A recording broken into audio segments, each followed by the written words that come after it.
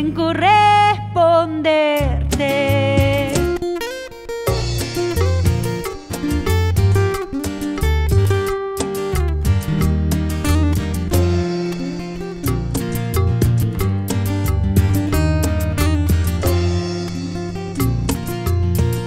Como la flor,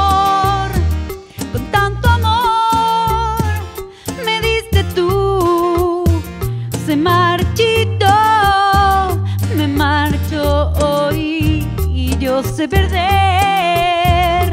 pero